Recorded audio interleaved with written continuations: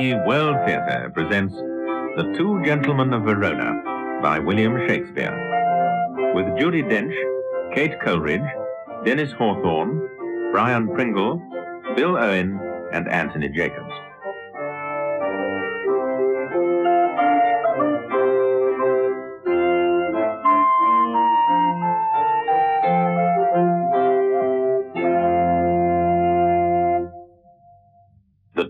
Gentlemen of Verona.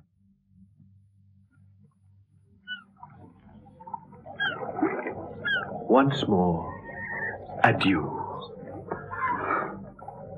My father at the port expects my coming there to see me shipped. And thither will I bring thee, gentle Valentine. Sweet Proteus, no. Now let us take our leave. Wilt thou be gone? No, Valentine. But stay. and- Cease to persuade my loving Proteus. Home-keeping youth have ever homely wits. Were not affection change thy tender days to the sweet glances of thy honored love, I rather would entreat thy company to see the wonders of the world abroad, than living dully sluggardized at home wear out thy youth with shapeless idleness. But since thou lovest, love still, and thrive therein, even as I would when I to love begin. Wilt thou be gone? Sweet Valentine, adieu. Think on thy Proteus when thou haply seest some rare noteworthy object in thy travel. Wish me partaker in thy happiness when thou dost meet good hap, and in thy danger, if ever danger do environ thee, commend thy grievance to my holy prayers, for I will be thy beadsman, Valentine. And on a love book pray for my success. Upon some book I love, I'll pray for thee. That's on some shallow story of deep love. How young Leander crossed the Hellespont. That's a deep story of a deeper love, for he was more than over shoes in love. Tis true, for you were over boots in love, and yet you never swam the Hellespont. Over the boots. Nay, give me not the boots. No, I will not, for it boots thee not. What? To be in love, where scorn is bought with groans. Love is your master, for he masters you. And he that is so yoked by a fool, methinks should not be chronicled for wise. Yet writers say, as in the sweetest bud the eating canker dwells, so eating love inhabits in the finest wits of all. And writers say, as the most forward bud is eaten by the canker ere it blow, even so by love the young and tender wit is turned to folly, blasting in the bud, losing his verdure even in the prime, and all the fair effects of future hopes. But wherefore waste I time to counsel thee that art a votary to fond desire? My father stays me. So, come wind, come tide, to Milan. Let me hear from thee by letters of thy success in love, and what news else betideth here an absence of thy friend, and I likewise will visit thee with mine. All happiness perchance to thee in Milan. As much to you at home, and so farewell. He after honor hunts, I after love. He leaves his friends to dignify them more. I leave myself, my friends, and all for love.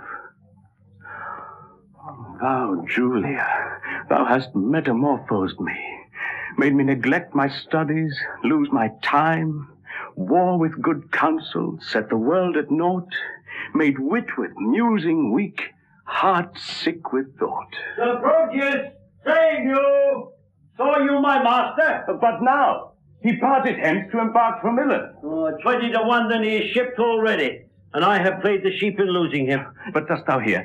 Gavest thou my letter to Julia? Aye, sir. But what said she? Come, come, open the matter in brief. What said she? Open your purse that the money and the matter may be both at once delivered. Well, sir, here is for your pains. Oh. Oh. Well, what said she? Truly, sir, I think you'll hardly win her. Why? Couldst thou perceive so much from her? Sir, I could perceive nothing at all from her. What said she? Nothing. No, not so much as take this for thy pains. To testify your bounty, I thank you. You have tested me. In requital whereof, henceforth carry your letters yourself. And so, sir, I'll commend you to my master. Go. Go, be gone. To save your ship from wreck, which cannot perish having thee aboard, being destined to a drier death on shore. I fear my Julia would not deign my lines receiving them from such a worthless post. I must go send some better messenger. But say, Lucetta, now we are alone. Of all the fair resort of gentlemen that every day with Pal encounter me, in thy opinion, which is worthiest love? Hmm. Please you repeat their names. I'll show my mind according to my shallow, simple skill. What thinkst thou of the fair Sir Eglamour? That's of a knight well spoken, neat and fine. But were I you, he never should be mine. what thinkst thou of the rich Mercatio? Well of his wealth, uh, but of himself, so-so. What thinkst thou of the gentle Proteus? Lord, Lord, to see what folly reigns in us. How now, what means this passion at his name? Oh, pardon, dear madam, 'tis a passing shame that I, unworthy body as I am, should censure thus on lovely gentlemen. Why not on Proteus as of all the rest? Then thus, of many goods, I think him best. Your reason? I have no other but a woman's reason. I think him so because I think him so. And wouldst thou have me cast my love on him? Aye, if you thought your love not cast away. Why? He of all the rest hath never moved me. Yet he of all the rest, I think, best loves ye. His little speaking shows his love but small. fire that's closest kept burns most of all. They do not love that do not show their love. Oh, they love least that let men know their love. Ah, I would I knew his mind. Peruse this paper, then. To Julia. Say from whom? Hmm, oh, that the contents will show. But Say, say, who gave it thee? Mr. Valentine's man. Speed is he called, and sent, I think, from Proteus. He would have given it to you, but I, being in the way, did in your name receive it. Pardon the fault, I pray. Now, by my modesty, a goodly broker, dare you presume to harbour wanton lines, to whisper and conspire against my youth? There, it's paper. See it be returned, or else return no more into my sight. Plead for love deserves more fee than hate. Will ye be gone? That you may ruminate. And yet I would I had o'erlooked the letter. What fool is she that knows I am a maid, and would not force the letter to my view, since maids in modesty say no to that which they would have the profferer construe I. Fie, fie, how wayward is this foolish love, that like a testy babe will scratch the nurse, and presently all humbled kiss the rod. How churlishly I chid Lucetta hence, when willingly I would have had her here. How angrily I taught my brow to frown, when inward joy enforced my heart to smile. My penance is to call Lucetta back, and ask remission for my folly past. What ho, Lucetta? What would your ladyship? Uh, near dinner time? Oh, I would it were, that you might kill your stomach on your meat, and not upon your maid. What is that you took up so gingerly? Uh, nothing. Why didst thou stoop then? Uh, to take a paper up that I let fall. And is that paper nothing? Nothing concerning me. Then let it lie for those that it concerns. Madam, it will not lie where it concerns, unless it have a false interpreter. Some love of yours hath writ to you in rhyme. That I might sing it, madam, to a tune. And give me a note. Your ladyship consent. Best sing it to the tune of Light of Love. Oh, it is too heavy for so light a tune. Heavy? Belike it hath some burden then. Aye, and melodious were it, would you sing And why not you? Hmm, I cannot reach so high. Let's see your song. How now? Yes, Julia, still, so you will sing it out. And yes, methinks I do not like this. You do not? No, madam, 'tis too sharp. And you minion are too saucy. Nay, you are too flat, and mar the concord with too harsh a descant. There wanteth but a mean to fill your song. The mean is drowned with your unruly bass. Indeed, I did the bass for Proteus. Babble not henceforth trouble me. Here is a coil with protestation. Go, get you gone, and let the papers lie. You would be fingering them to anger me. Strange. But she would be best pleased to be so angered with another letter.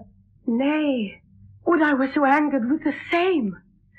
Oh, hateful hands to tear such loving words, injurious wasps to feed on such sweet honey, and kill the bees that yielded with your stings. I'll kiss each several paper for amends. Look, here is writ, kind Julia. Unkind Julia, as in revenge of thy ingratitude I throw thy name against the bruising stones, trampling contemptuously on thy disdain. Oh, and here is writ, love-wounded Proteus. Poor a wounded name. My bosom as a bed shall lodge thee till thy wound be truly healed, and thus I search it with a sovereign kiss. But twice or thrice was Proteus written down. Be calm, good wind. Blow not a word away till I have found each letter in the letter, except mine own name. That some whirlwind bear unto a ragged, fearful hanging rock, and throw it thence into the raging sea. Lo, here in one line is his name twice writ. Poor forlorn Proteus, passionate Proteus, to the sweet Julia. That I'll tear away. And yet I will not. Since so prettily he couples it to his complaining name. Thus will I fold them one upon the other. Now kiss, embrace, contend. Do what you will. Madam, dinner is ready and your father stays. Well, let us go. These papers lie like telltales here. If you respect them, best take them up. Oh, no, I was taken up for laying them down. Yet, here they shall not lie for catching cold. I see you have a month's mind to them. Aye, madam, you may say what sights you see. I see things too, although you judge I wink. Oh, come, come. Will please you come to dinner?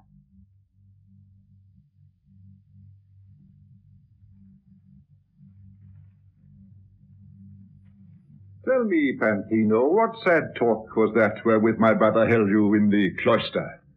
It was of his nephew Proteus, your son. Why, what of him?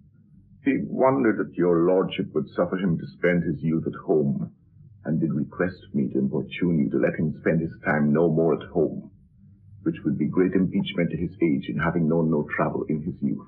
Nor needst thou much importune me to that whereon this month I have been hammering.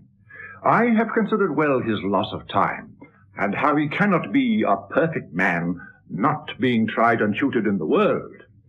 Then tell me, whither were I best to send him? I think your lordship is not ignorant how his companion, youthful Valentine, attends the emperor in his royal court. I know it well. Twere good, I think, my lord, to send him thither.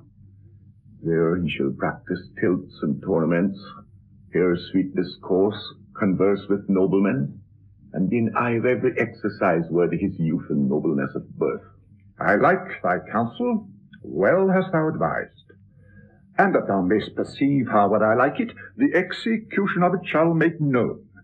Even with the speediest expedition, I will dispatch him to the emperor's court. I'll bring him to you presently.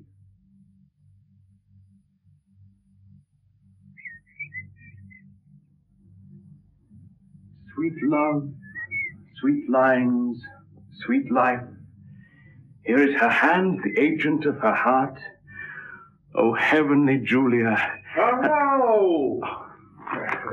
What letter are you reading there? Uh, may it please your lordship, 'tis a word or two of commendation sent from Valentine, delivered by a friend that came from him.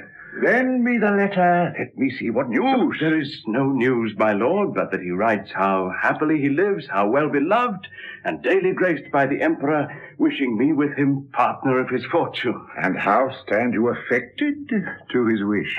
As one relying on your lordship's will and not depending on his friendly wish. My will is something sorted with his wish. Muse not that I thus suddenly proceed, for what I will, I will, and there's an end. I am resolved that thou shalt spend some time with Valentinus in the Emperor's court. What maintenance he from his friends receives, like exhibition thou shalt have from me. Tomorrow be in readiness to go. But, my lord... Excuse it not, for I am peremptory. My lord, I, I cannot be so soon provided. Please you deliberate a day or two. Look, what thou wants to be sent after thee. No more of stay. Tomorrow thou must go. Father! No words away. Thus have I shunned the fire for fear of burning and drenched me in the sea where I am drowned. I feared to show my father Julia's letter, lest he should take exceptions to my love, and with the vantage of mine own excuse hath he accepted most against my love. Oh, how this spring of love resembleth the uncertain glory of an April day, which now shows all the beauty of the sun, and by and by a cloud takes all away. Sir Proteus, your father calls for you. He's in haste, therefore I pray you go. Why, this it is. My heart accords thereto, and yet a thousand times it answers no.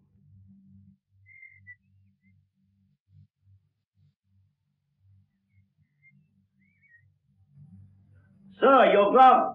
Not mine. My gloves are on. Why, still this may be yours, for this is but one. Huh? Let me see. Aye, give it me, it's mine. Sweet ornament that decks a thing divine.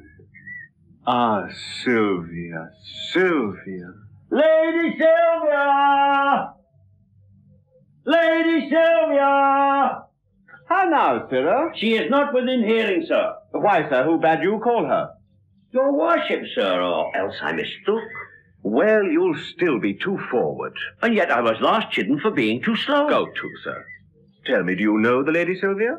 She that your worship loves. Why, how know you that I am in love? Marry by these special marks. First, you have learned, like Sir Proteus, to read your arms like a malcontent, to relish a love song like a robin redbreast, to walk alone like one that had the pestilence, to sigh like a schoolboy that had lost his ABC, to weep like a young wench that had buried her grandam, to fast like one that takes diet, to watch like one that fears robbing, to speak purely like a beggar at hallow mass.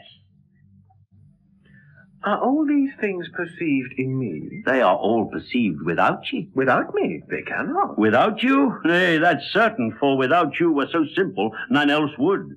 But you are so without these follies that these follies are within you, and shine through you like the water in a urinal. But still thou hast not said, Knowst thou my Lady Silvia? She that you gaze on so, ha, as she sits at supper. Hast thou observed that? Even she, I mean. Why, sir, I know her not. I have loved her ever since I saw her. And still I see her beautiful. If you love her, you cannot see her. Why? Because love is blind. Oh, that you had mine eyes. What should I see then? Your own present folly and her passing deformity. Enough, Speed. To make an end, I stand affected to her. I would, sir, that your affection would cease. Last night she enjoined me to write some lines to one she loves. And have you? I have. Are they not lamely writ? No, sir, but as well as I can do them. Peace. Here comes the Lady Silvia. Oh, excellent motion. Oh, exceeding puppet. Now will he interpret to her. Lady and mistress, a thousand good morrows. The Valentine and servant. Lady? To you, two thousand. As you enjoined me, I have writ your letter unto this secret, nameless friend of yours. Though I was much unwilling to proceed in't, but for my duty to your ladyship. I thank you, gentle servant. Tis very clerkly done. Now, trust me, madam, it came hardly off. For being ignorant to whom it goes, I writ at random very doubtfully. Perchance you think too much of so much pain? Uh, no, madam. So instead you I will write. Please you command a thousand times as much. And yet, A pretty period. Well, I guess the sequel. And yet, I will not name it. And yet, I cannot. And yet, take this again. And yet I thank you, meaning henceforth to trouble you no more. And yet, you will. And yet, another yet. What means your ladyship? Do you not like it? Yes, yes. The lines are very quaintly writ, but since unwillingly, take them again. Nay, take them. Madam, they are for you. Aye, aye, you writ them, sir, at my request. But I will none of them. They are for you. I would have had them writ more movingly. Please you, I'll write your ladyship another. And when it's writ, for my sake, read it over. And if it please you, so. If not, why so? If it please me, madam, what then? Why, if it please you, take it for your labour. And so, good morrow, servant. Oh, jest unseen! Inscrutable! Invisible as a nose on a man's face or a weathercock on a steeple. My master sues to her, and she hath taught her suitor, he being her pupil, to become her tutor. Oh, excellent device! Was there ever heard a better? That my master being scribe to himself should write the letter. How now, sir? What, are you reasoning with yourself? Nay, I was rhyming. Tis you that have the reason. To do what? To be a spokesman from Lady Silvia. To whom? To yourself. Why, she woos you by a figure. What figure? By a letter, I should say. Why, she hath not writ to me. What need she when she hath made you write to yourself? Why, do you not perceive the jest? No, believe me. No believing you, indeed, sir. But did you perceive her earnest? She gave me none, except an angry word. Why, she hath give you the letter. That's the letter I writ to her friend. And that letter hath she delivered, and there an end. I would it were no worse. I'll warrant you 'tis as well. For often have you writ to her, and she in modesty, or else for want of idle time, could not again reply, or fearing else some messenger that might her mind discover, herself hath taught her love himself to write unto her lover. All this I speak in print, for in print I found it. Why muse you, sir? Tis dinner time. I have dined. Aye, but hearken, sir. Though the chameleon love can feed on air, I am one that am nourished by my victuals, and would fain have meat. Oh, be not like your mistress. Be moved, be moved.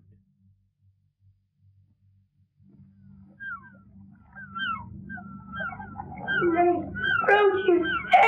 I cannot stay. Have patience, gentle Julia. Proteus, I must, where there's no remedy. When possibly I can, I will return. If you turn not, you will return the sooner. Oh. oh. Here. Take this ring, and see thou lose it not. Keep this remembrance for thy Julia's sake. Why then, we'll make exchange. Here, take you my ring. And seal the bargain with a holy kiss.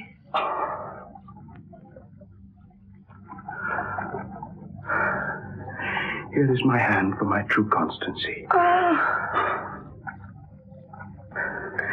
My father stays my coming. Answer not. The tide is not. Nay, not thy tide of tears. That tide will stay me longer than I should. Julia, farewell.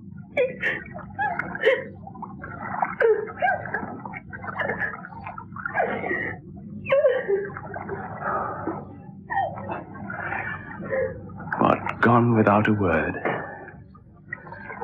Aye, so true love should do. It cannot speak, for truth hath better deeds than words to grace it. Proteus, sir! Aboard! You are dead for! Go on. I come, I come. Alas, this parting strikes poor lovers dumb.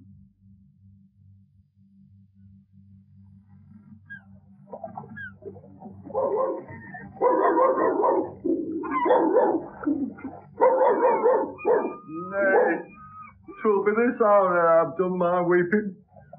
All the kind of Launces have this very fault. I have received my proportion like the prodigious son, and I'm going with Sir Proteus to the Imperial's court. No, I think Crab, my dog, be the sourest natured dog that lives. My mother weeping, my father wailing, my sister crying, our maid howling, our cat wringing her hands, and all our house in a great perplexity. Yet did not this cruel-hearted cur shed one tear. He is a stone, a very pebble, and has no more pity in him than a, a dog. A Jew would have wept to have seen our parting. My grandam, having no eyes, look you, wept herself blind at my parting. Now, I'll show you the manner of it. This shoe is my father. No, no, this uh, left shoe is my mother. Nay, that cannot be so neither. Yeah, yes, it is so.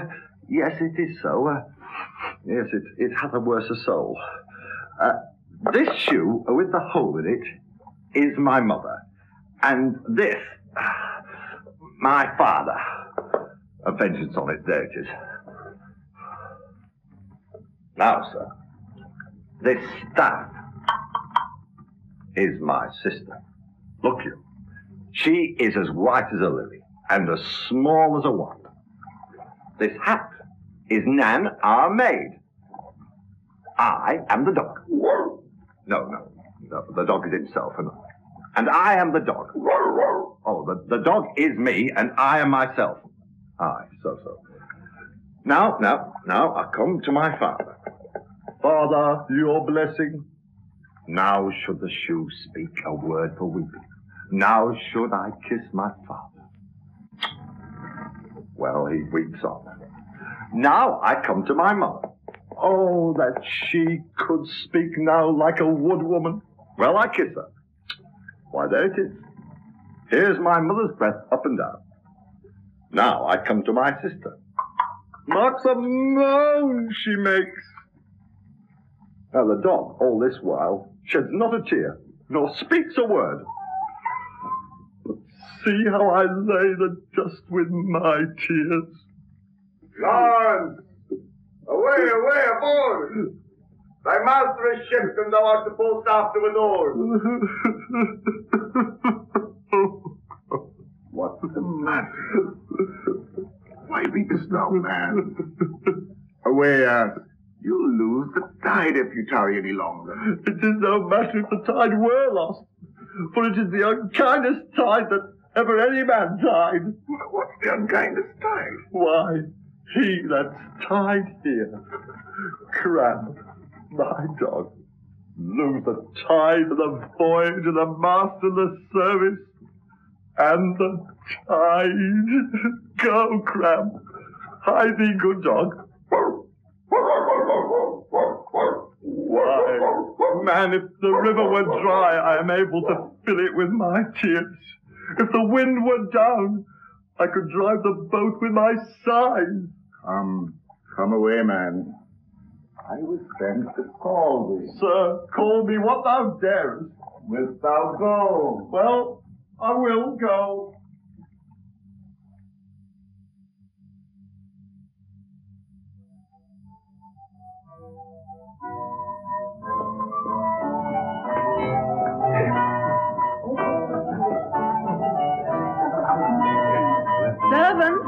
Valentine. Mistress Silvia? Master Sir Thurio frowns on you. Aye, boy. It's for love. not of you. Of my mistress, then. Twere good you knocked him.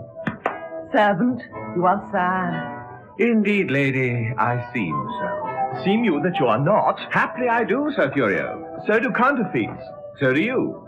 What seem I that I am not? Wise. what instance of the contrary? Your folly. And how quote you my folly? I quote it in your jerkin. My jerkin is a doublet. Well then, I'll double your folly. How? What? Angry, Sir Thurio? Do you change colour? Give him leave, madam. He is a kind of chameleon. Oh. That hath more mind to feed on your blood than live in your air. You have said, sir. Aye, sir, and done too for this time. I know it well, sir. You always end ere you begin. A fine volley of words, gentlemen, and quickly shot off. Sir, if you spend word for word with me, I shall make your wit bankrupt. I know it well, sir. You have an exchequer of words, and I think no other treasure to give your followers, for it appears by their bare liveries that they live by your bare words. No more, gentlemen, no more. Here comes my father.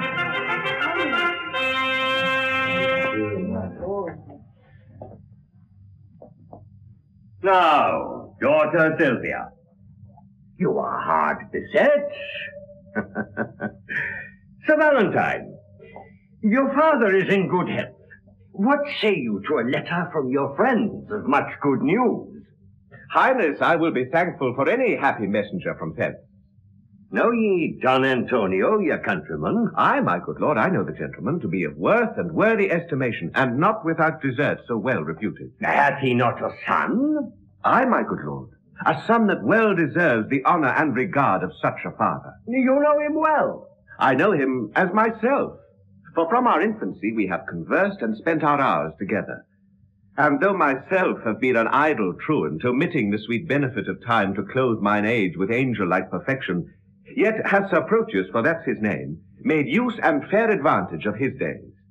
His years but young, but his experience old. His head unmellowed, but his judgment ripe. And in a word, for far behind his worth comes all the praises that I now bestow, he is complete in feature and in mind, with all good grace to grace a gentleman. Well, sir, this gentleman is come to me with commendation from great potentates, and here he means to spend his time a while. I think there's no unwelcome news to you. Should I have wished a thing, it had been he. Welcome him then according to his worth. Uh, Silvia, I speak to you, and you, Sir Thurio. For Valentine, I need not cite him to it. I will send him hither to you presently. Musicians, to it again. This is the gentleman I told your ladyship had come along with me, but that his mistress Julia did hold his eyes locked in her crystal looks. Belike that now she hath enfranchised them upon some other pawn, Sir Theodore. Nay, sure, I think she holds them prisoner still. Nay, then he should be blind. And being blind, how could he see his way to seek out you? Why, lady, love hath twenty pair of eyes. They say that love hath not an eye at all. To see such lovers, Thurio, as yourself, upon a homely object love can wink. Have done, have done. Here comes the gentleman. Dearest Valentine, well met. Welcome, dear Proteus. Mistress, I beseech you, confirm his welcome with some special favor. His worth is warrant for his welcome hither. If this be he you oft have wished to hear from. Silvia Proteus. Sweet lady, entertain him to be my fellow servant to your ladyship. Too low a mistress for so high a servant. Not so, sweet lady, but too mean a servant to have a look of such a worthy mistress. Leave off discourse of disability, sweet lady. Entertain him for your servant. My duty will I boast of, nothing else. And duty never yet did want his need. Servant, you are welcome to a worthless mistress. I'll die on him that says so but yourself, But you are welcome. that you are worthless. Lady Silvia, the Emperor would speak with you. I wait upon his pleasure. Once more, new servant, welcome. I'll leave you to confer of home affairs. When you have done, we look to hear from you. We'll both attend upon your ladyship. For now, I will attend her. Now, tell me, how do all from whence you came? Your friends are well and have them much commended. And how do yours? I left them all in health. How does your lady? And how thrives your love? Oh, my tales of love were wont to weary you. I know you joy not in a love discourse. Ay, Proteus, but that life is altered now.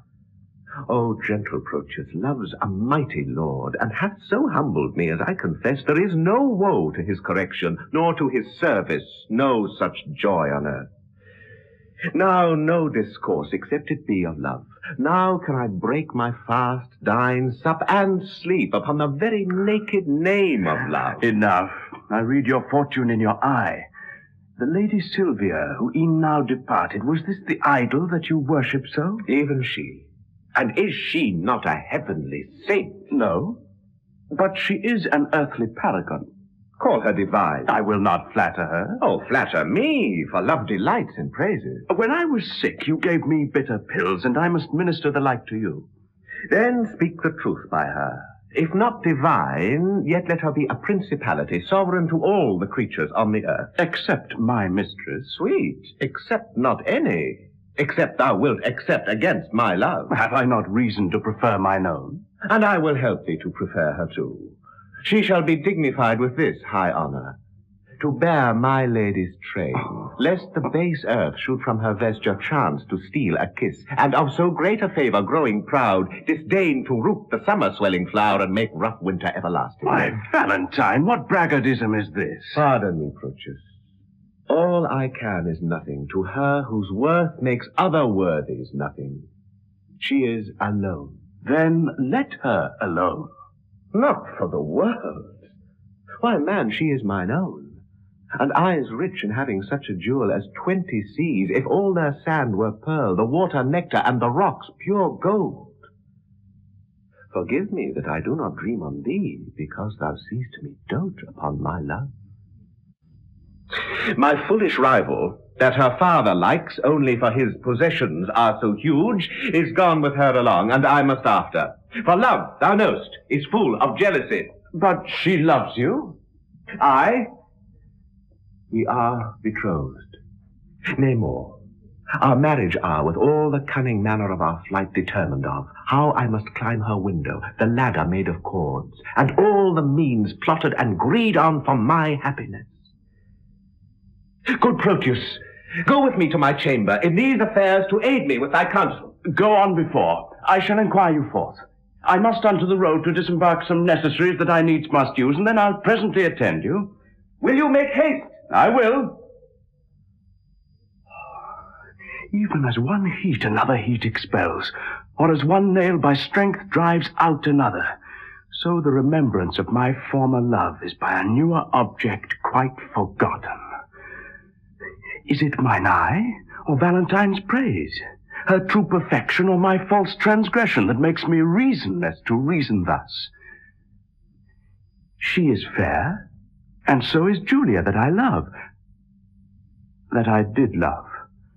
For now my love is thawed, which like a waxen image against a fire bears no impression of the thing it was. Methinks my zeal to Valentine is cold, and that I love him not as I was wont. Oh, but I love his lady too, too much. And that's the reason I love him so little. How shall I dote on her with more advice, that thus without advice begin to love her? 'Tis but her picture I have yet beheld, and that hath dazzled my reason's light. But when I look on her perfections, there is no reason but I shall be blind. If I can check my erring love, I will. If not, to compass her, I'll use my skill.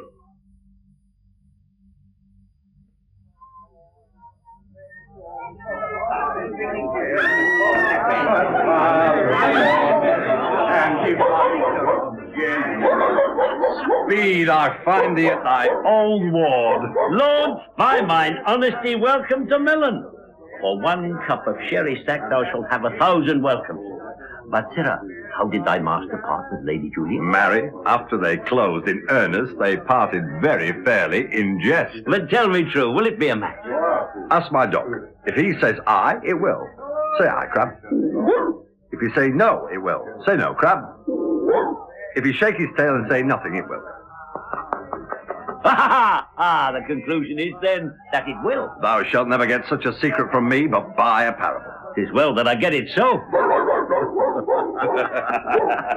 Ah, but Lords, how sayest thou that my master is become a notable lover? I never knew him otherwise. Then how? A notable lover, Oh. as thou reportest him to be.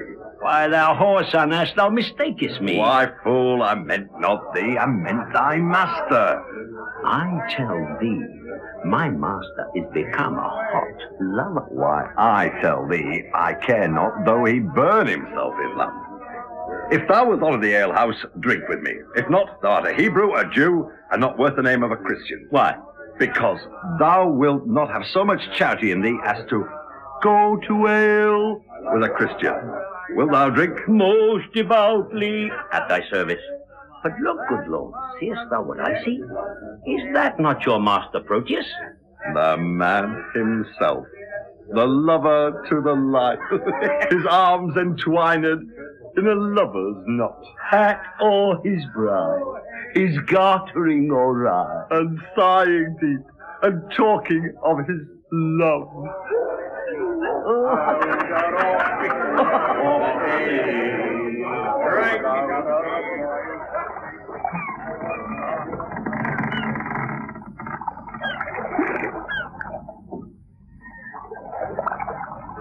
To leave my Julia shall I be forsworn? To love fair Silvia shall I be forsworn? To wrong my friend I shall be much forsworn. And even that power which gave me first my oath provokes me to this threefold perjury. Love bade me swear, and love bids me forswear. Oh, sweet suggesting love, if thou hast sinned, teach me thy tempted subject to excuse it. At first, I did adore a twinkling star, but now I worship a celestial sun. Unheedful vows may heedfully be broken, and he wants wit that wants resolved will to learn his wit to exchange the bad for better. Fie, fie, unreverent tongue, to call her bad whose sovereignty so oft thou hast preferred with twenty thousand soul-confirming oaths. I cannot leave to love, and yet I do. But there I leave to love where I should love. Julia I lose, and Valentine I lose. But if I keep them, I needs must lose myself. If I lose them, thus find I by their loss for Valentine myself, for Julia Silvia. Well, I to myself am dearer than a friend, for love is still most precious in itself. And Silvia, witness heaven that made her fair, shows Julia but a swarthy Ethiop. I will forget that Julia is alive, remembering that my love to her is dead. And Valentine, I'll hold an enemy, aiming at Silvia as a sweeter friend. Well, I cannot now prove constant to myself without some treachery used to Valentine. This night, he meaneth with a corded ladder to climb celestial Silvia's chamber window, myself in counsel his competitor. Now, presently, I'll give her father notice of their disguising and pretended flight. The Emperor, enraged, will banish Valentine, for Thurio he intends shall wed his daughter. But Valentine being gone, I'll quickly cross, by some sly trick, blunt Thurio's dull proceeding. Love, lend me wings to make my purpose swift, as thou hast lent me wit to plot this drift.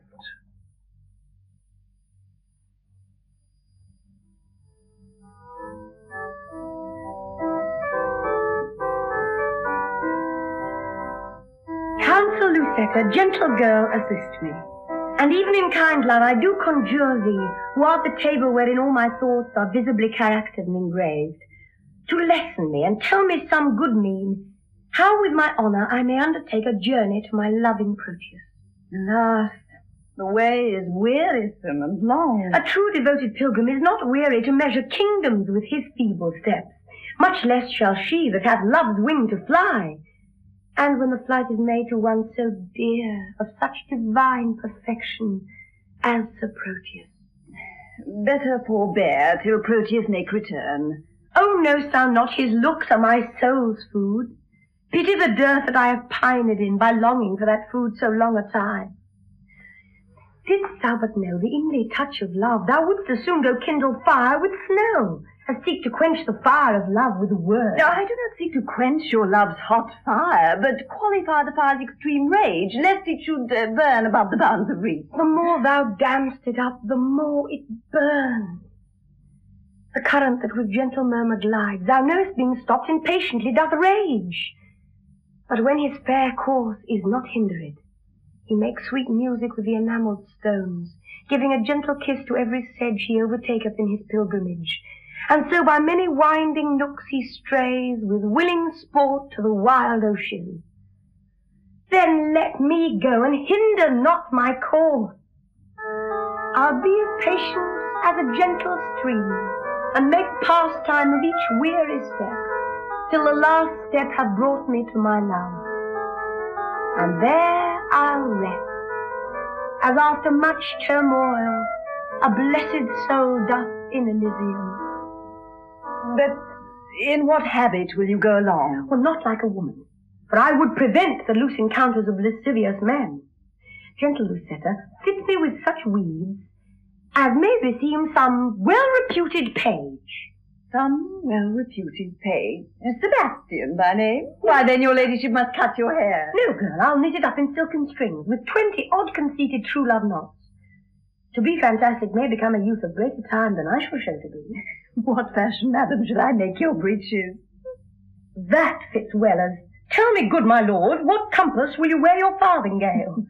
Why, even what fashion thou best likes, Lucetta. You must needs have them with a codpiece, madam. Out, out, Lucetta. That will be ill favor. A round hose, madam, now is not worth a pin unless you have a codpiece to stick pins Lucetta, thou love me. Let me have what thou thinkst meet and is most mannerly. But tell me, wench, how will the world repute me for undertaking so unstaid a journey? I fear me it will make me scandalized. If you think so, then stay at home. Nay, go not. That I will not. Then never dream on infamy, but go. If Proteus like your journey when you come, no matter who's displeased when you are gone, I fear me he will scarce be pleased withal. That is the least, Lucetta, of my fear. A thousand oaths, an ocean of his tears, and instances of infinite of love warrant me welcome to my Proteus. All oaths are servants to deceitful men. Base men that use them to so base effect. But truer stars did govern Proteus' birth. His words are bonds, his oaths are oracles, his love sincere, his thoughts immaculate, his tears pure messengers sent from his heart, his heart as far from fraud as heaven from earth. May heaven he prove so when you come to him. Now, as thou lovest me, do him not that wrong to bear a hard opinion of his truth. Only deserve my love by loving him. And presently go with me to my chamber, to take a note of what I stand in need of, to furnish me upon my longing journey. All that is mine I leave at thy dispose, my goods, my lands, my reputation. Only in lieu thereof dispatch me hence. Oh, come answer not, but to it presently. I am impatient of my carrion. Now, tell me, Proteus, what's your will with me? My gracious lord, that which I would discover, the law of friendship bids me to conceal. But when I call to mind your gracious favors done to me, undeserving as I am, my duty pricks me on to utter that which else no worldly good should draw from me. No worthy prince, Sir Valentine, my friend, this night intends to steal away your daughter. Myself am one made privy to the plot. I know you have determined to bestow her on Thurio, whom your gentle daughter hates, and should she thus be stolen away from you, it would be much vexation to your age. Thus, for my duty's sake, I rather choose to cross my friend in his intended drift than by concealing it heap on your head a pack of sorrows which would press you down, being unprevented, to your timeless grave. Proteus, I thank thee for thine honest care, which to requite command me while I live. This love of theirs myself have often seen, haply when they have judged me fast asleep, and oftentimes have purposed to forbid Sir Valentine her company and my court. But fearing lest my jealous aim might err, and so unworthily disgrace the man, a rashness that I ever yet have shunned, I gave him gentle looks, thereby to find that which thyself hast now disclosed to me. And that thou mayst perceive my fear of this, knowing that tender youth is soon suggested, I nightly lodge her in an upper tower, the key whereof myself have ever kept, and thence she cannot be conveyed away. No, noble lord. They have devised a mean how he her chamber window will ascend, and with a corded ladder fetch her down, which to procure even now he is gone. At the lane's end without the palace gate, in the next hour you may discover him. Oh, but, uh, good my lord, do it so cunningly that my discovery be not aimed at. For love of you, not hate unto my friend, hath made me publisher of this pretense. Upon mine honor he shall never know that I had any light from thee of this. Adieu, my lord. Stay not, or you will miss him.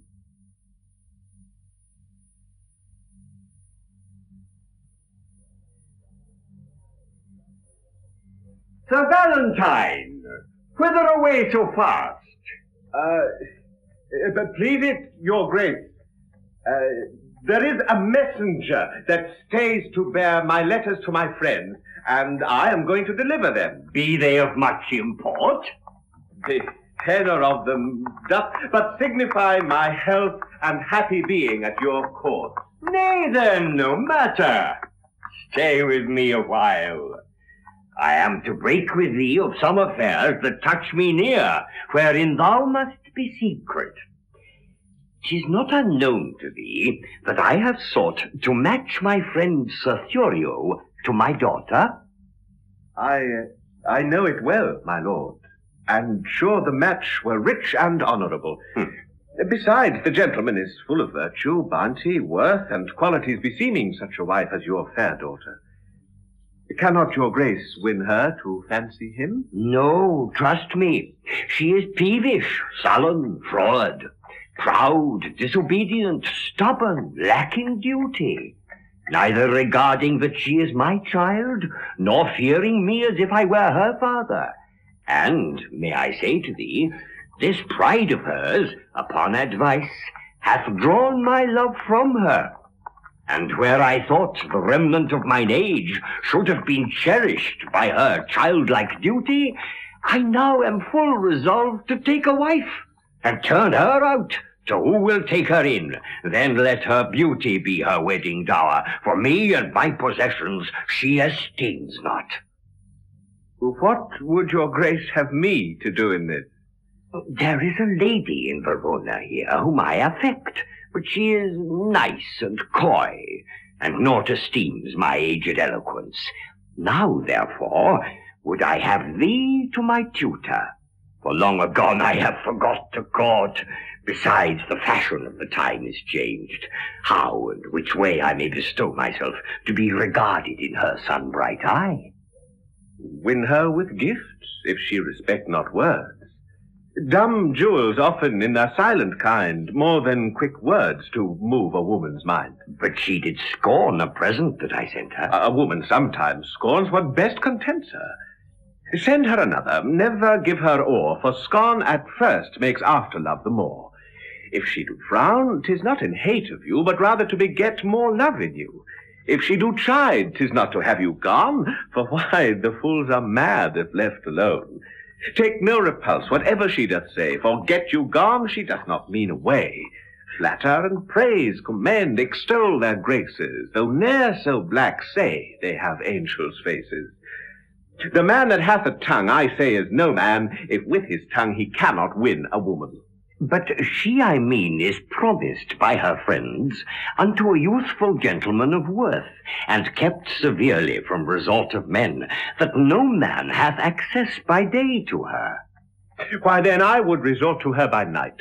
Ay, but the doors be locked and keys kept safe, that no man hath recourse to her by night. What lets but one may enter at her window? Her chamber is aloft, far from the ground, and built so shelving that one cannot climb it without apparent hazard of his life. Why then, a ladder, quaintly made of cords, to cast up with a pair of anchoring hooks would serve to scale another hero's tower, so bold Leander would adventure it. Now, as thou art a gentleman of blood, advise me where I may have such a ladder. When would you use it? Pray, sir, tell me that. This very night. For love is like a child that longs for everything that he can come by. By seven o'clock, I'll get you such a ladder. But hark thee, I will go to her alone. How shall I best convey the ladder thither? It will be light, my lord, that you may bear it under a cloak that is of any length. A cloak, as long as thine will serve the turn? Aye, good my lord. Then let me see thy cloak. I'll get me one of such another length. Why, any cloak will serve the turn, my lord. How shall I fashion me to wear a cloak? I pray thee, let me feel thy cloak upon me. My lord. What letter is the same?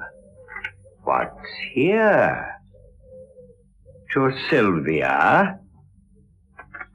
And here an engine fit for my proceeding. I'll be so bold to break the seal for once.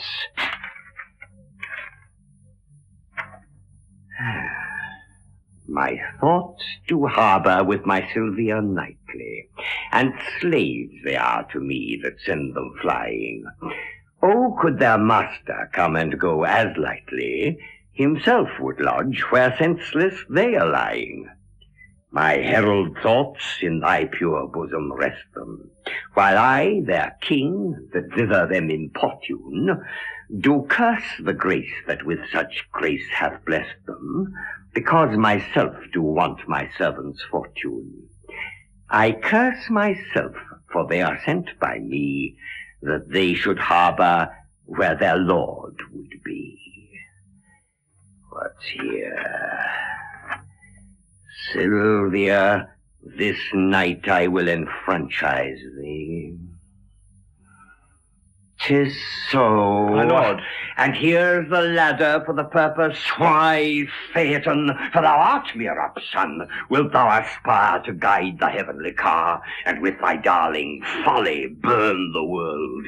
Wilt thou reach stars because they shine on thee? Go, base intruder, overweening slave! Bestow thy fawning smiles on equal mates, and think my patience more than thy desert is privilege for thy departure hence. Thank me for this more than for all the favors which all too much I have bestowed on thee. But if thou linger in my territories longer than swiftest expedition will give thee time to leave our loyal court, by heaven, my wrath shall far exceed the love I ever bore my daughter or thyself. Begone! I will not hear thy vain excuse, but as thou lovest thy life, make speed from hence.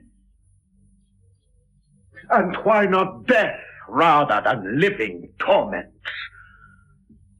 To die is to be banished from myself, and Silvia is myself. Banished from her is self from self, a deadly banishment. What light is light if Silvia be not seen? What joy is joy if Silvia be not by? Unless it be to think that she is by and feed upon the shadow of perfection. Except I be by Silvia in the night, there is no music in the nightingale. Unless I look on Silvia in the day, there is no day for me to look upon. She is my essence, and I leave to be, if I be not by her fair influence fostered, illumined, cherished, kept alive. I fly not death to fly his deadly doom. Tarry I here, I but attend on death. But fly I hence, I fly away from life. So ho! So ho! What seest thou? Him we go to find. There's not a hair on his head, but 'tis a Valentine. Valentine? No. Who then? His spirit? Neither. What then? Nothing. Can nothing speak? Master, shall I strike? Who wouldst thou strike? Nothing. Villain, forbear. Why, sir, I'll strike nothing, I pray you. Sirrah, I say forbear. Friend Valentine, a word? My ears are stopped and cannot hear good news, so much of bad already hath possessed them. Then in dumb silence will I bury mine, for they are harsh, untunable, and bad. Is Silvia dead? No, Valentine. No, Valentine indeed, for sacred Silvia. Hath she forsworn me? No, Valentine. No, Valentine, if Silvia have forsworn me. What is your news? Sir, there is a proclamation that you are banished. That thou art banished. Oh, that's the news. From hence, from Silvia, and from me, thy friend. Oh, I have fed upon this woe already, and now excess of it will make me surfeit. Doth Silvia know that I am banished? Aye, aye. And she hath offered to the doom, which unreversed stands in effectual force, a sea of melting pearl, which some call tears.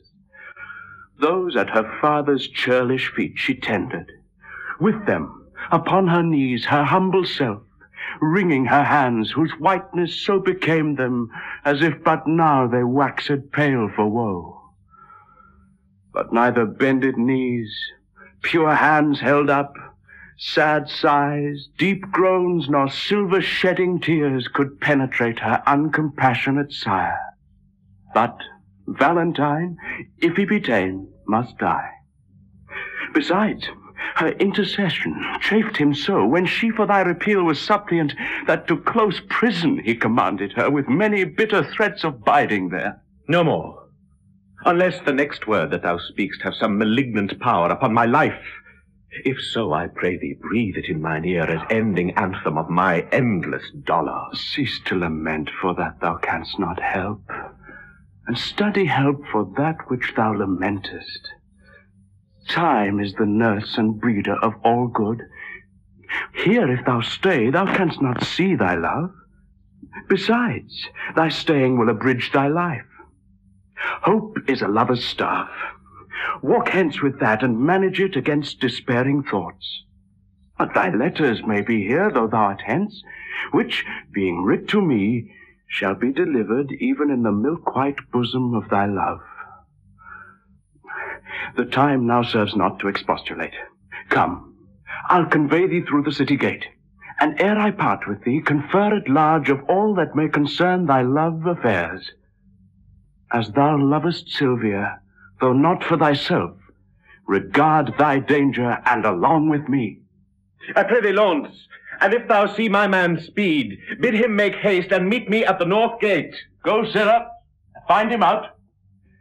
Come, Valentine. Oh, my dear Silvia, hapless Valentine!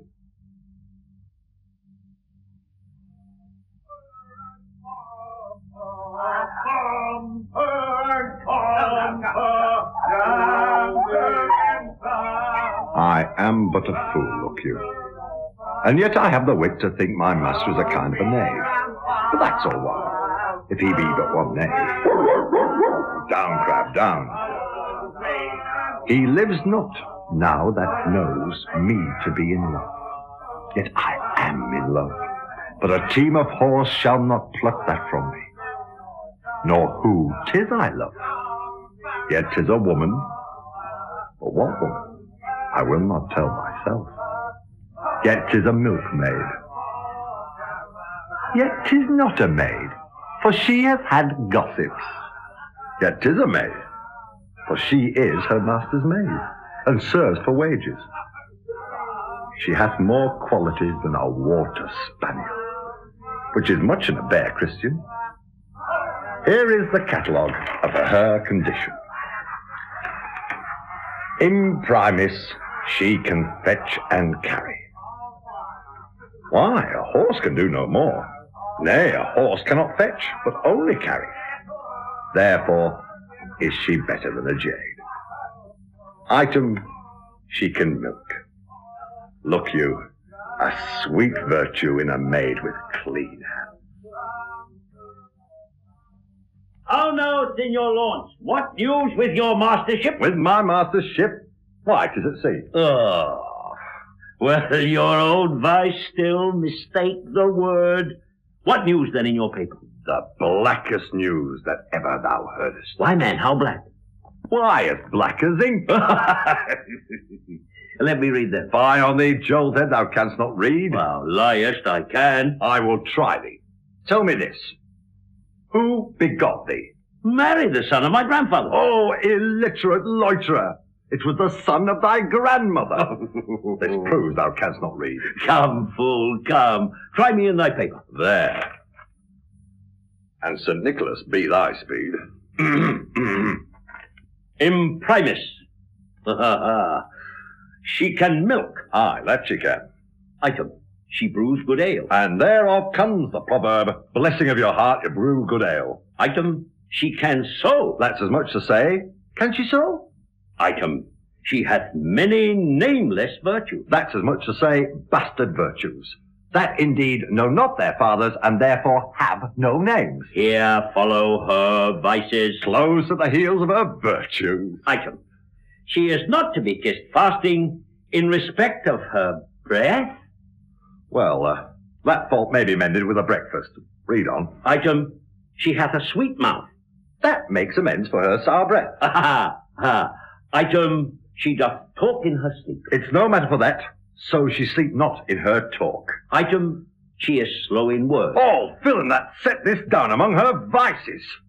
To be slow in words is a woman's only virtue. I pray thee out with it and place it for her chief virtue. Item. She hath no teeth. I care not for that neither, because I love crust. Item. She is cursed. Well, the best is she hath no teeth to bite. Item. She will often praise her liquor. If her liquor be good, she shall. If she will not, I will. For good things should be praised. Item. She is too liberal. Of her tongue she cannot be. For that's writ down she is slow of. Of her purse she shall not. For that I'll keep shut. Now, of another thing she may. Uh-huh. And that I cannot help. well, uh, proceed. Item. She hath more hair than wit, and more faults than hairs, and more wealth than faults. Stop there. I'll have her. She was mine, and not mine. Twice or thrice in that last article. Rehearse that once more. Item. She hath more hair than wit. More hair than wit. It may be. I'll prove it. The cover of the salt hides the salt, and therefore it is more than the salt. Eh? The hair that covers the wit is more than the wit, for the greater hides the less. Ah. Mm. Yeah, yeah. Mm, Uh, what's next? Uh-oh. and, uh, and more faults than hairs. That's monstrous. Oh, that that were out. And more wealth than faults. Oh, why? That word makes the faults gracious. Well, I'll have her. And speed. Mm-hmm. If it be a match, Uh-huh. as nothing is impossible. What then? Why, then will I tell thee that thy master stays for thee at the north gate. And must I go to him? Thou must run to him, for thou hast stayed so long that going will scarce serve the turn. Why didst thou not tell me sooner? Oh, pox on your love letters? and now will he be swinged for reading my letter, and a mannerly slave that will thrust himself into secrets. Come, Crab, I'll after to rejoice in his correction. Sir Thurio, fear not, but that she will love you, now Valentine is banished from her sight. Since his exile, she hath despised me most, forsworn my company, and railed at me that I am desperate of obtaining her. This weak impress of love is a figure trenched in ice, which with an hour's heat dissolves to water and doth lose his form.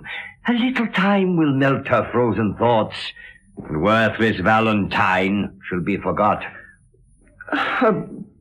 Tell me, Sir Proteus, is your countryman, according to our proclamation, gone? Gone, Imperial Lord? My daughter takes his going grievously. A little time, my lord, will kill that grief. But so I believe, but Thurio thinks not so. Proteus, the good conceit I hold of thee, for thou hast shown some sign of good desert, makes me the better to confer with thee. Longer than I prove loyal to your grace, let me not live to look upon your grace. Thou knowest how willingly I would effect the match between Sir Thurio and my daughter. I do, my lord. And also I think thou art not ignorant how she opposes her against my will. She did, my lord, when Valentine was here. Aye, and perversely she persevers so. What might we do to make the girl forget the love of Valentine and love Sir Thurio? The best way is to slander Valentine with falsehood, cowardice, and poor descent. Three things that women highly hold in hate. Aye, but she'll think that it is spoken hate. Aye, if his enemy deliver it. Therefore it must with circumstance be spoken by one whom she esteemeth as his friend. Then you must undertake to slander him. That, my lord, I shall be loath to do. Where your good word cannot advantage him, your slander never can damage him. Therefore the office is indifferent, being entreated to it by your friend. You have prevailed, my lord. Hmm. If I can do it by aught that I can speak in his dispraise, she shall not long continue love to him. But say this wean her love from Valentine, it follows not that she will love Sir Thurio. Therefore, as you unwind her love from him, lest it should ravel and be good to none, you must provide to bottom it on me. Ah. Which must be done by praising me as much as you in worth dispraise Sir Valentine. And, Proteus, we dare trust you in this kind, because we know, on Valentine's report, you are already love's firm votary, and cannot soon revolt and change your mind. Upon this warrant shall you have access where you with Silvia may confer at large. For she is lumpish, heavy, melancholy, and for your friend's sake will be glad of you. Where you may temper her by your persuasion to hate young Valentine and love my friend. As much as I can do, I will effect.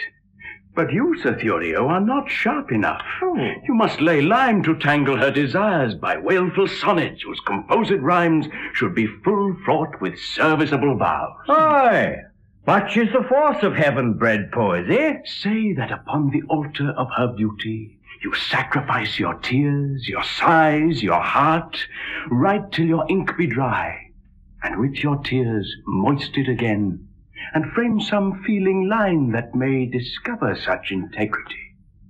For Orpheus' lute was strung with poet's sinews, whose golden touch could soften steel and stones, make tigers tame, and huge leviathans forsake unsounded deeps to dance on sands. After your dire lamenting elegies, visit by night your lady's chamber window with some sweet consort. To their instruments tune a deploring dump. The night's dead silence will well become such sweet complaining grievance. This, or else nothing, will inherit her.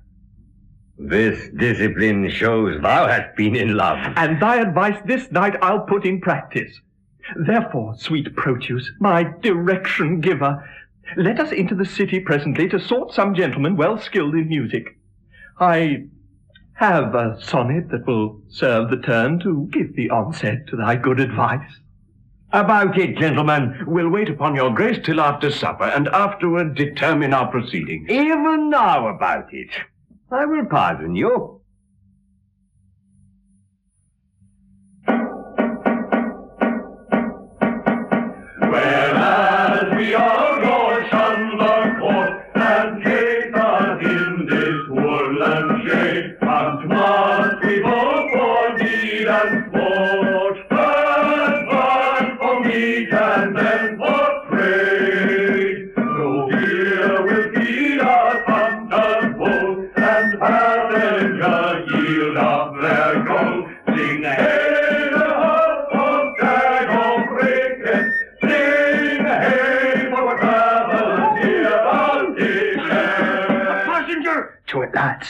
Outsword, the game's afoot. Pray it be some man of place, heavy of purse, with velvet cloak and well-stored wallet. Or friar fat with poor man's tithe. Or usurer portering of his money bags. They turned into the lane that leads them here. A single lord, well mounted, and his man. There's crowns for taking, and ransom to follow. String up your bows, but bend them not. Stand close. Hmm.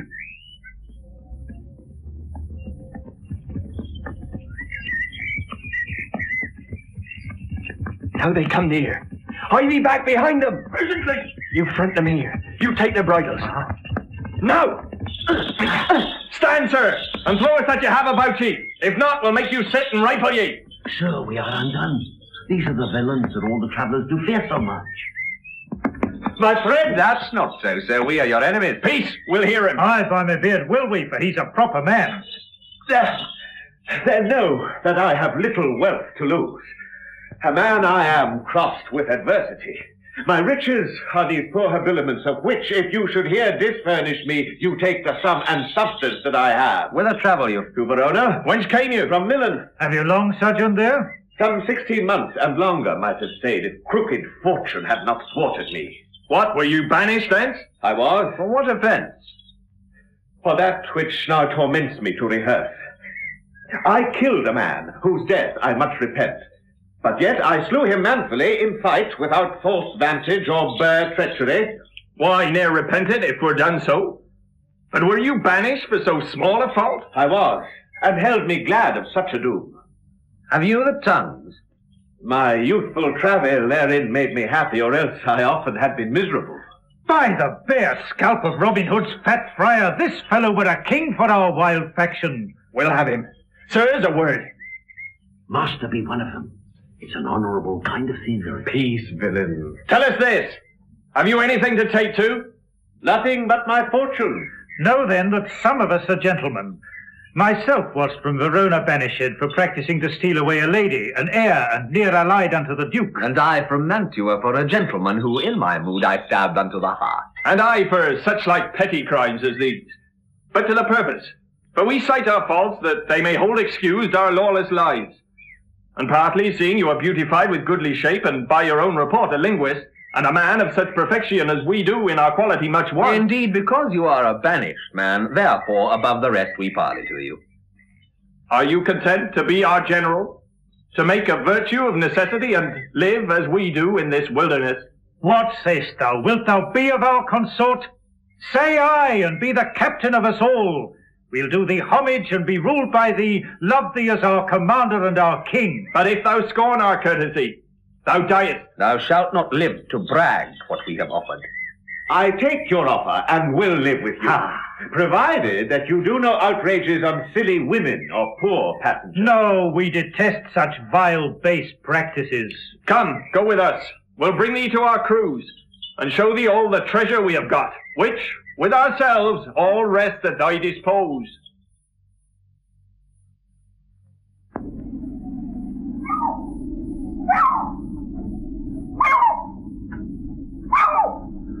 Already have I been false to Valentine, and now I must be as unjust to Thurio.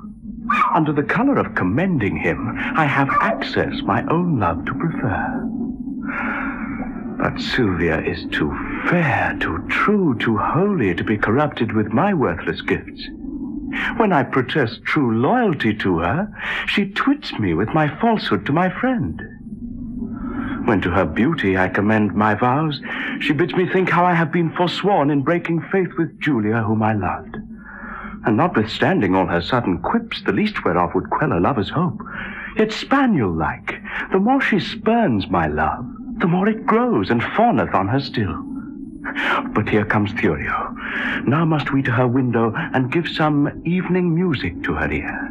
Oh, how now, Sir Proteus? Are you crept up before us? Aye, gentle Thurio, for you know that love will creep in service where it cannot go. Aye, but I hope, sir, that you love not here. Sir, but I do, or else I would be hence.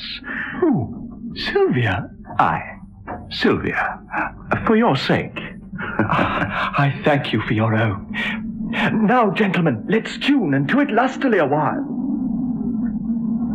Now, my young guest, methinks you're alley collie. I pray you, why is it? Marry mine host because I cannot be married. Come, we'll have you merry. I'll bring you Wellesley music and see the gentleman you asked for. Shall I hear him speak? Aye, that you shall. That will be music. Hark! Hark! Is he among the musicians? Aye. But, but peace. Let's hear him.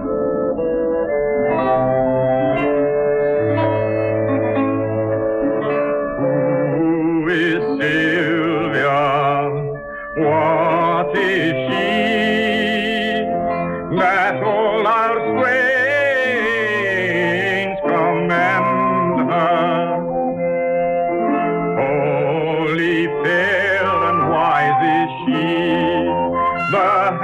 such grace did lend her that she might admired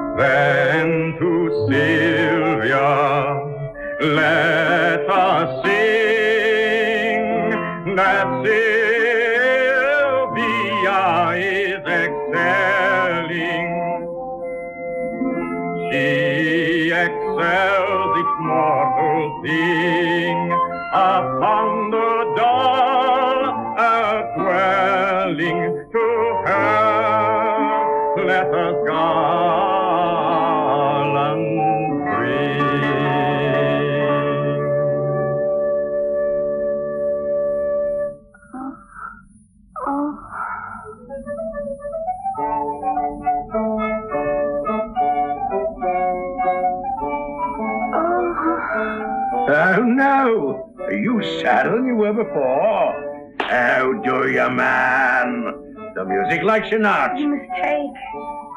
The musician likes me not. Why, my pretty youth? He plays false, father. Oh, heard you on the strings? So, but yet so false that he grieves my very heartstrings. Oh, you have a quick ear. I, I would I were deaf. It makes me have a slow heart. Oh, I perceive your your delight not in music. Not a whit when it jars so. Ah, what a fine change is in the music. Aye. That change is the spite. You would have 'em play always but one thing. I would always have one play but one thing. But host, doth this Proteus that we talk on often resort unto this gentlewoman? I tell you what Launce's man told me. He loved her out of all nick. Where is this Launce? Going to seek his dog, which tomorrow, by his master's command, he must carry for a present to his lady. Oh, stand aside. The company pass. Sir Thurio, fear not you. I will so plead that you shall say my cunning drift excels. Where meet we? At St. Gregory's Well. Farewell.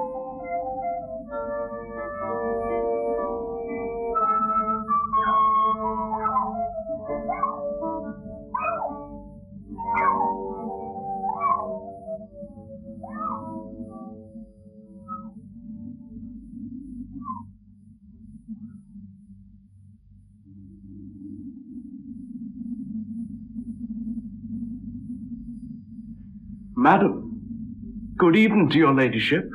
I thank you for your music, gentlemen. Who is that that spake? One lady, if you knew his pure heart's truth, you would quickly learn to know him by his voice. Sir Proteus, as I take it. Sir Proteus, gentle lady, and your servant, What's your will? that I may compass yours. You have your wish. My will is even this, that presently you hie you home to bed. Thou subtle, perjured, false, disloyal man, think'st thou that I am so shallow, so conceitless, to be seduced by thy flattery that hast deceived so many with thy vows? Return, return, and make thy love amends. For me, by this pale queen of night, I swear, I am so far from granting thy request that I despise thee for thy wrongful suit, and by and by intend to chide myself even for this time I spend in talking to thee. I grant, sweet love, that I did love a lady, but she is dead. Twere false if I should speak it, for I am sure she is not buried. Say that she be. Yet Valentine, thy friend, survives, to whom thyself art witness I am betrothed, And art thou not ashamed to wrong him with thy importunity? I likewise hear that Valentine is dead. And so suppose am I. For in his grave assure thyself my love is buried. Sweet lady, let me rake it from the earth. Go to thy lady's grave. Call her love thence. Or at the least in her sepulchre thine. He heard not that. Madam, if your heart be so obdurate, vouchsafe me yet your picture for my love, the picture that is hanging in your chamber. To that I'll speak, to that I'll sigh and weep. For since the substance of your perfect self is else devoted, I am but a shadow, and to your shadow will I make true love. If 'twere a substance, you would sure deceive it, and make it but a shadow as I am. I am very loath to be your idol, sir. But since your falsehood shall become you well to worship shadows and adore false shapes, send to me in the morning, and I'll send it. And so, good rest. As wretches have o'er night that wait for execution in the morn. Host, will you go? By my halidom, I was fast asleep. Pray you where lies Sir Proteus? Marry at my house. Trust me. Uh, I think 'tis almost day. Not so. But it hath been the longest night that e'er I watched, and the most heaviest.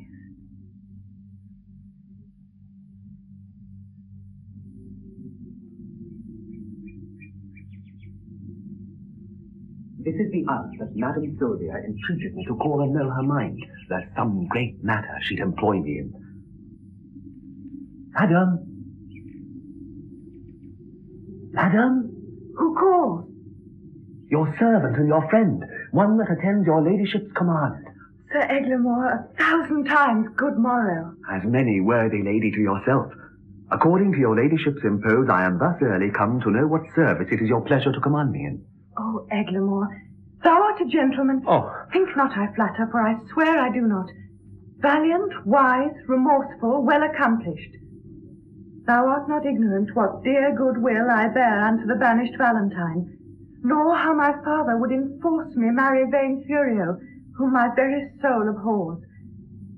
Thyself hast loved, and I have heard thee say no grief did ever come so near thy heart as when thy lady and thy true love died, upon whose grave thou vowedst pure chastity.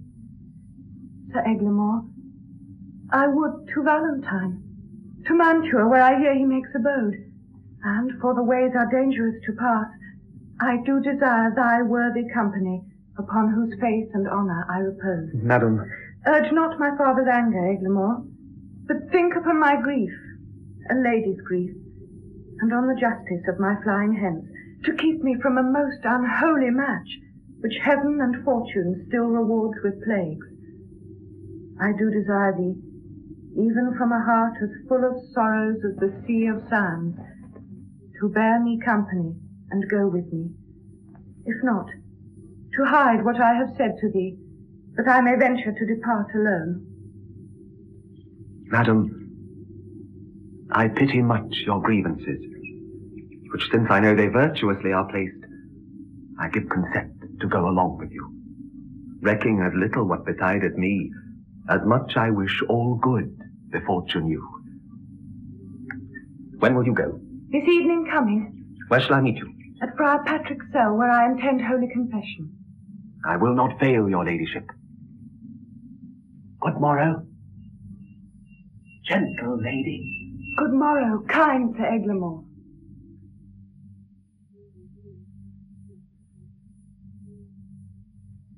When a man's servant shall play the cur with him, look you, it goes hard.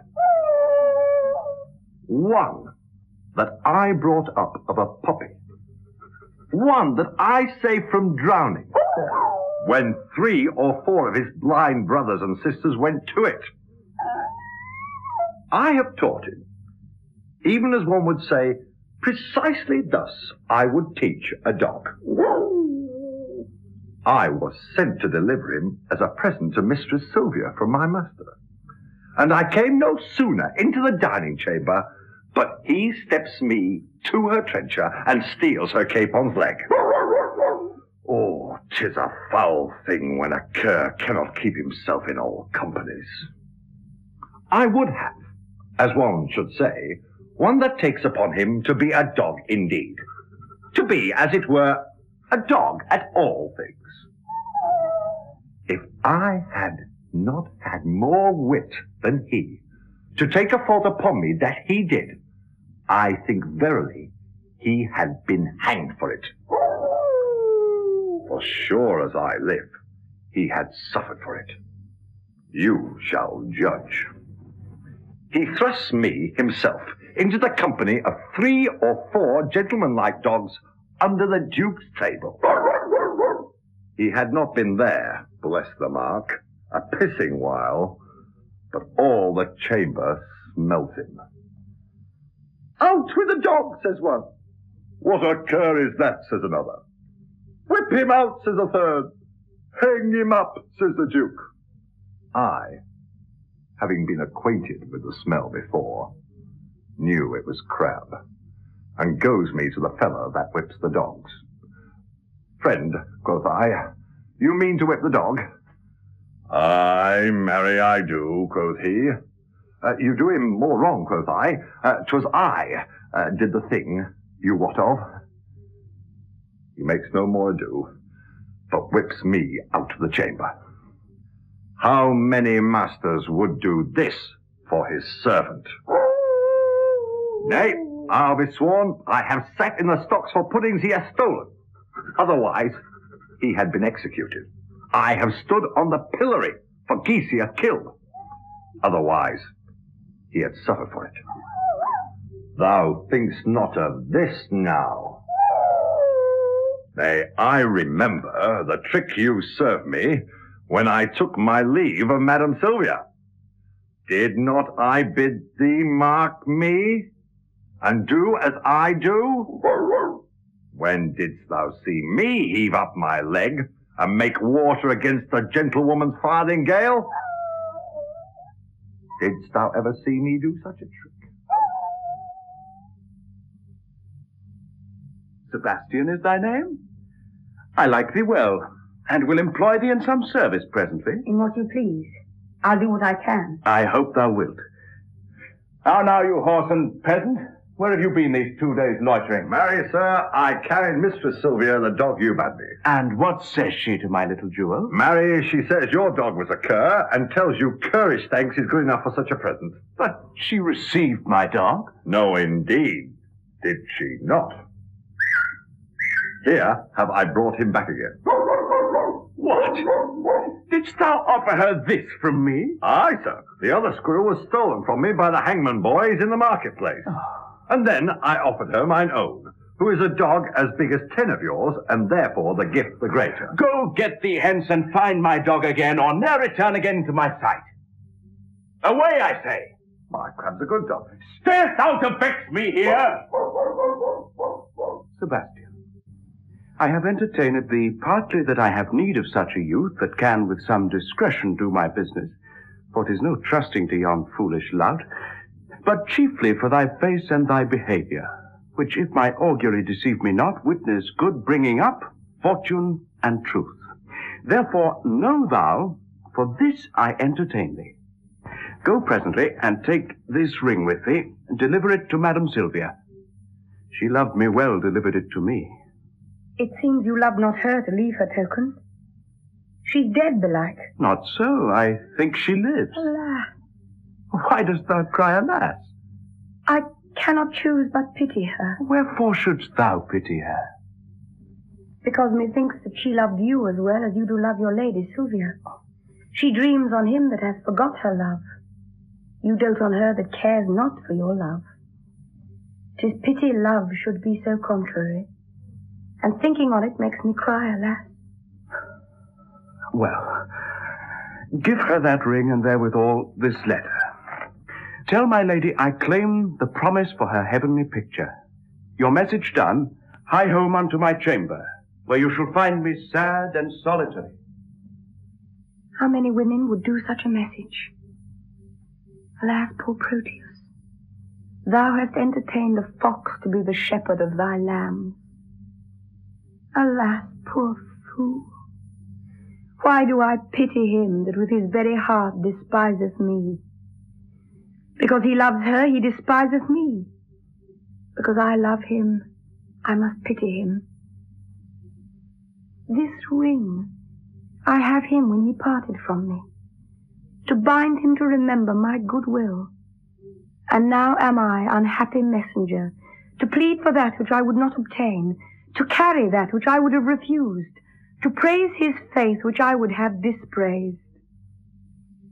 I am my master's true confirmed love, but cannot be true servant to my master unless I prove false traitor to myself. Yet will I woo for him, but yet so coldly, as heaven it knows I would not have him speed. Gentlewoman, good day. I pray you be my means to bring me where to speak to Madam Silvia. What would you with her if that I be she? If you be she, I do entreat your patience to hear me speak the message I am sent on. From whom? From my master's approaches, madam. Oh, he sends you for a picture. Aye, madam. Go. Give your master this. Tell him from me, one Julia that his changing thoughts forget would better fit his chamber than this shadow. Madam, please you to peruse this letter. Oh, pardon me, madam, I have unadvised delivered you a paper that I should not. This is the letter to your ladyship. I pray thee, let me look on that again. It may not be, good madam, pardon me. There, hold. I will not look upon your master's lines. I know they are stuffed with protestations and full of new-found oaths, which he will break as easily as I do tear his paper. Madam, he sends your ladyship this ring.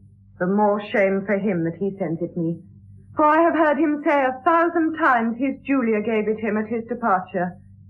Though his false finger have profaned the ring, mine shall not do his Julia so much wrong. She thanks you. What sayst thou? I thank you, madam, that you tender her. For gentlewoman, my master wrongs her much. Dost thou know her? Almost as well as I do know myself. To think upon her woes, I do protest that I have wept a hundred several times. Belike she thinks that Proteus hath forsook her. I think she does. And that's her cause of sorrow. Is she not passing fair? She hath been fairer, madam, than she is, when she did think my master loved her well. She, in my judgment, was as fair as you. But since she did neglect her looking glass and threw her sun-expelling mask away, the air has starved the roses in her cheeks and pinched the lily tincture of her face, that now she has become as black as I. How tall was she? About my stature. For at Pentecost, when all our pageants of the delight were played, our youth got me to play the woman's part, and I was trimmed in Madame Julia's gown, which served me as fit by all men's judgment as if the garment had been made for me. Therefore I know she's about my height. And at that time I made her weep a good, for I did play a lamentable part. Madam, 'twas Ariadne passioning for Theseus' perjury and unjust flight, which I so lively acted with my tears, that my poor mistress, moved therewithal, wept bitterly. And would I might be dead, if I in thought felt not her very sorrow. She is beholding to thee, gentle youth. Alas, poor lady, desolate and left. I weep myself to think upon thy words. Here, youth, there is my purse. I give thee this for thy sweet mistress' sake, because thou lovest her. Farewell, good Sebastian. And she shall thank you for it e'er you know her. A virtuous gentlewoman, mild and beautiful. I hope my master's suit will be but cold, since she respects my mistress' love so much. Alas, how love can trifle with itself. Here is her picture. Let me see. I think if I had such attire, this face of mine were full as lovely as is this of hers. And yet the painter flattered her a little, unless I flatter with myself too much. Her hair is auburn, Mine is perfect yellow. If that be all the difference in his love, I'll get me such a coloured periwig. Her eyes are grey as glass, and so are mine. I but her forehead low, and mine's as high. What should it be that he respects in her, but I can make respected in myself, if this fond love were not a blinded God? Come, shadow, come and take this shadow up, for 'tis thy rival. O thou senseless form, thou shalt be worshipped, kissed, loved, and adored. And were there sense in his idolatry, my substance should be statue in thy stead. I'll use thee kindly for thy mistress' sake, that used me so. Or else, by Jove, I vow, I should have scratched out your unseeing eyes to make my master out of love with thee.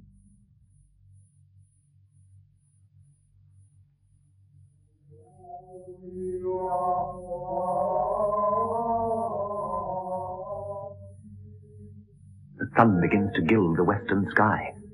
And now it is about the very hour that Silvia at Friar Patrick's cell should meet me. She will not fail, for lovers break not hours unless it be to come before their time, so much they spur their expedition. Ah, see where she comes. Lady, a happy evening. Amen, amen. Go on, good Eglamour, out at the postern by the abbey wall. I fear I am attended by some spies. Fear not.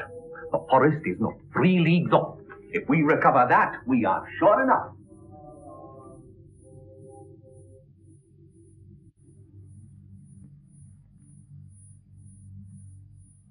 Sir Proteus, what says Silvia to my suit? Oh, sir, I find her milder than she was, and yet she takes exception at your person. What? That my leg is too long? No, that it is too little. I'll wear a boot to make it somewhat rounder. But love will not be spurred to what it loathes. What says she to my face? She says it is a fair one. Nay then, the wanton lies. My face is black. But pearls are fair, and the old saying is, black men are pearls in beauteous ladies' eyes. It's true, such pearls as put out ladies' eyes, for I had rather wink than look on them. How likes she my discourse? Ill when you talk of war. Uh, but well when I discourse of love and peace. But better indeed when you hold your peace. What says she to my valor? Oh, sir, she makes no doubt of that. She needs not when she knows it cowardice. What says she to my birth? That you are well derived. True, from gentleman to a fool. Considers she my possession. Oh, aye. And pities them. Wherefore? That such an ass should owe them. That they are out by lease. Here comes the Duke. How now, Sir Proteus? How now, hear you? Uh, which of you saw Sir Eglamour of late? Not I. Nor I. Saw you my daughter? Neither. Why then, she's fled unto that peasant Valentine, and Eglamour is in her company. Oh. It is true. For Friar Lawrence met them both as he in penance wandered through the forest. Him he knew well and guessed that it was she, but being masked, he was not sure of it. Besides, she did intend confession at Patrick's cell this even, and there she was not. These likelihoods confirm her flight from hence. Therefore, I pray you, stand not to discourse, but mount you presently, and meet with me upon the rising of the mountain foot that leads towards Mantua, whither they are fled. Dispatch, sweet gentlemen, and follow me. Why, this it is to be a peevish girl that flies her fortune when it follows her. I'd after, more to be revenged on Eglamour than for the love of reckless Silvia. And I will follow, more for Silvia's love than hate of Eglamour that goes with her. And I will follow more to cross that love than hate for Silvia that is gone for love.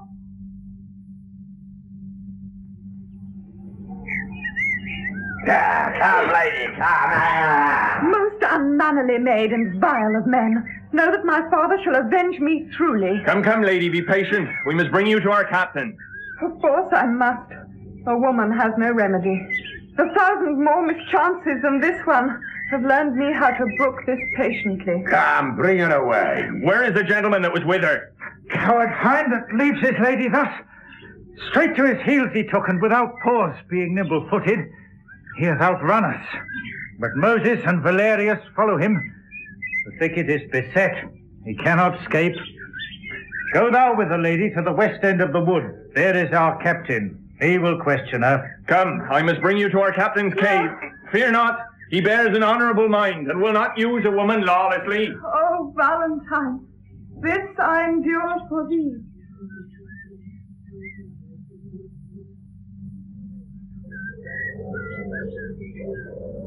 How use doth breed a habit in a man. This shadowy desert, unfrequented woods, I better brook than flourishing peopled towns. Here can I sit alone, unseen of any, and to the nightingale's complaining notes tune my distresses and record my woes. O thou that dost inhabit in my breast, leave not the mansion so long tenantless, lest growing ruinous the building fall, and leave no memory of what it was. Prepare me with thy presence, Silvia, thou gentle nymph, cherish thy forlorn swain.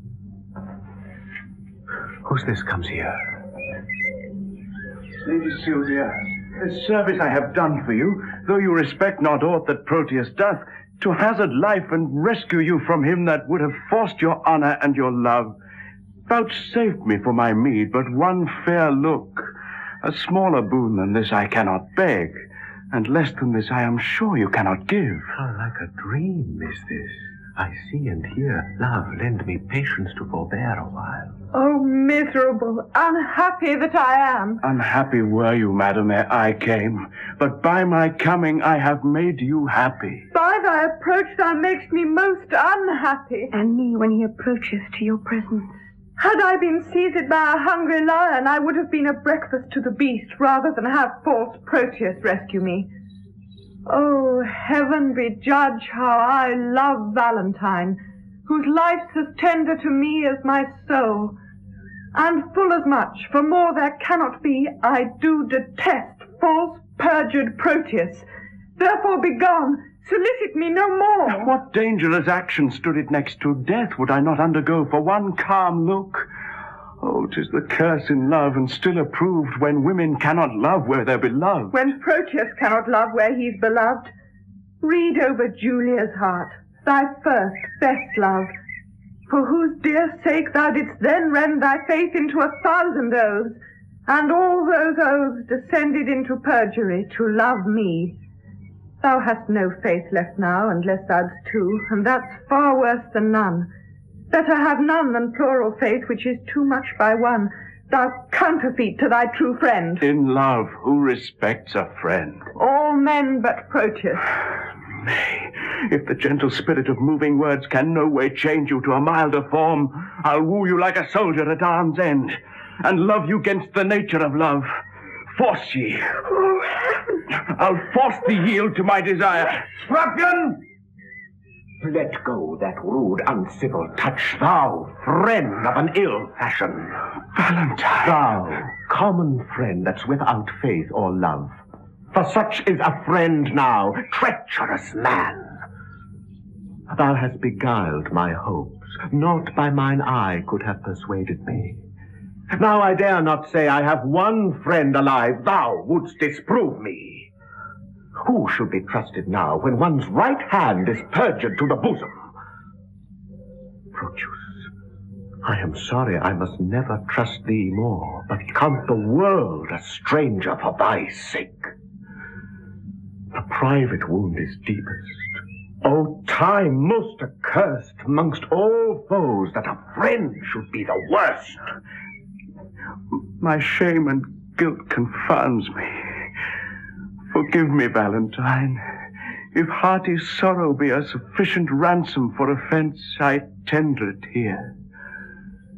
I do as truly suffer as ere I did commit. Then I am paid.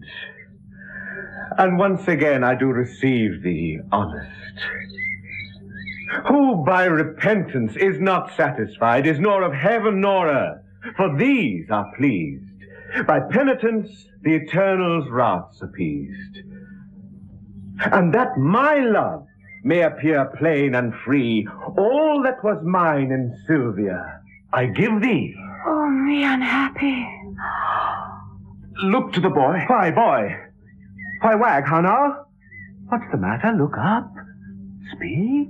Oh, good sir, my master charged me to deliver a ring to Madame Silvia, which out of my neglect was never done. Where is that ring, boy? Here it is. This is it. How? Well, let me see. Why, this is the ring I gave to Julia. Oh, cry you mercy, sir. I have mistook. This is the ring you sent to Silvia. But how camest thou by this ring? At my depart I gave this unto Julia.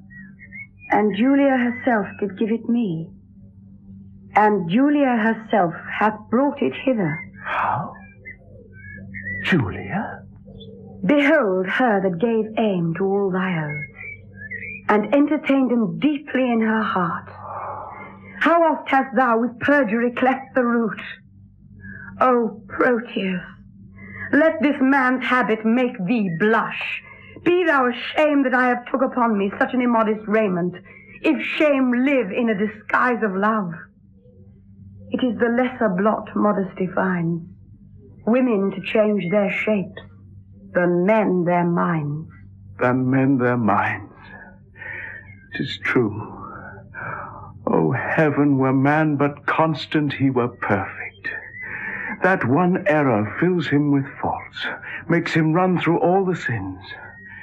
Inconstancy falls off ere it begins. What is in Silvia's face but I may spy more fresh in Julia's with a constant eye? Come, come, a hand from either. Let me be blessed to make this happy close. For pity two such friends should be long foes. Bear witness, heaven, I have my wish forever. And I mine. A prize! A prize! noble! A noble prize for ransom! Forbear! Forbear, I say! It is the Emperor! Mercy, your grace! Your grace is welcome to a man disgraced. Banished Valentine. Sir Valentine! Yonder is Silvia, and Silvia's mine. Thurio, get back! Or else embrace thy death. Come not within the measure of my wrath. Do not name Silvia thine, if once again Verona shall not hold thee. Here she stands. Take but possession of her with a touch. I dare thee but to breathe upon my love. Sir Valentine, I, I care not for her, I. I hold him but a fool that will endanger his body for a girl that loves him not. I claim her not, and therefore she is thine. The more degenerate and Base art thou to make such means for her as thou hast done, and leave her on such slight conditions. Now, by the honor of my ancestry, I do applaud thy spirit, Valentine, and think thee worthy of an empress love. For now I charge you on your sworn allegiance that you appear this night in court before me. I shall at leisure think, and then make known what my decree is, what my punishment. These outlaws bring away, whilst I consider. Great no words! Away! Valentine, Proteus, fail me not. Tonight at court, all shall receive my doom.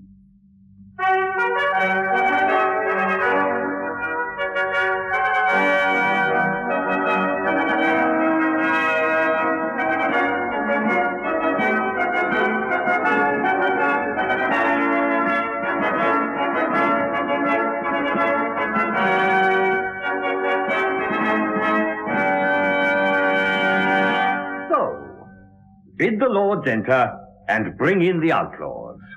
Presently, your grace.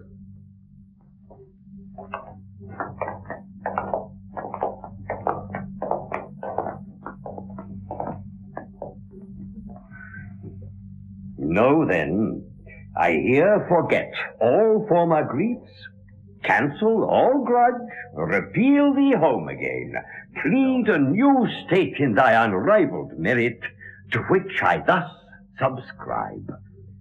Sir Valentine, thou art a gentleman, and well derived.